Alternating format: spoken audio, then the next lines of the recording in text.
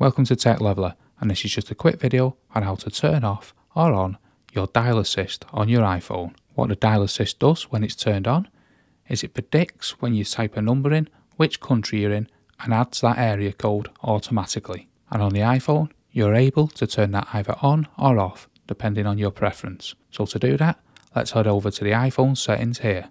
Now we're on the iPhone settings, let's scroll all the way down until we get to phone and then let's tap into that. Now on the phone settings, let's swipe all the way to the bottom. I can see here at the very bottom, dial assist. It's currently on as it's tabbed green. But underneath here, it gives you a bit of information. Dial assist automatically determines the correct international or local prefix for dialing. So if you don't want this on, you want to tap this green toggle so it's greyed out. So now let's jump over to the phone now we've turned it off and let's add just a random number.